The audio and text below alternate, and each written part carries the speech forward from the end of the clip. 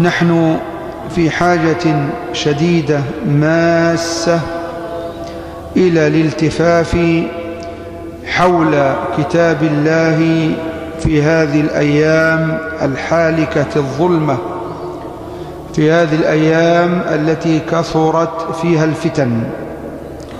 والمخرج من الفتن هو الوقوف بالقرب من ربنا جل وعلا فإذا ما تقربنا إليه أوجد لنا المخارج من كل فتن.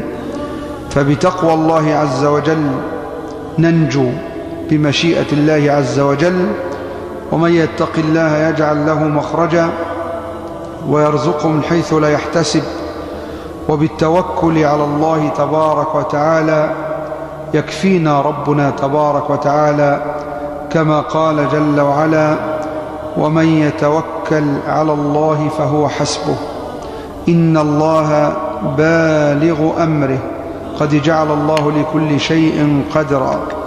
والله تبارك وتعالى قال لنبيه صلى الله عليه وسلم أليس الله بكاف عبده؟ بلى. أليس الله بكاف عبده؟ ويخوفونك بالذين من دونه ومن يضلل الله فما له من هاد ومن يهد الله فما له من مضل ويختم ربنا تبارك وتعالى الآية باستفهام أليس الله بعزيز ذي انتقام بلى الله عزيز ذو انتقام سبحانه وتعالى فالفتن كثيرة والمحن كثيرة ولا بد أن نعلم بأن كل شيء يحدث في كون الله إنما يحدث بعلمه وإنما يحدث بحكمته وبتقديره وتدبيره فما شاءه الله تبارك وتعالى سيكون والشيء الذي لم يشأه الله تبارك وتعالى لن يكون أبدا.